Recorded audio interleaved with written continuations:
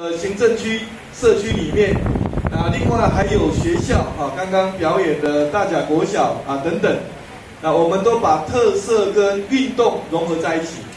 那第二点呢，我们也特别利用活动的时候来祈福，所以待会大家会可以拿到这个福袋啊，平安平安福。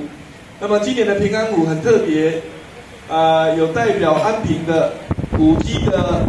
安平古堡、义载金城，也有台南市的一级古迹赤坎楼，全台首学啊，都会在我们的平安符上面。也就是说，既可以保佑大家的健康安全，那么又可以展现台南市的特色。那今年非常特别的是，刚好恰适逢台南市的登革热的疫情啊，比往年要来的严峻。那因此呢，今年的平安年祭显得更外有意义啊！啊，除了我们刚刚看到两个表演的团体，喜悦舞蹈团，或是一贯道的啊神奇的天路啊，神奇的天路表演者。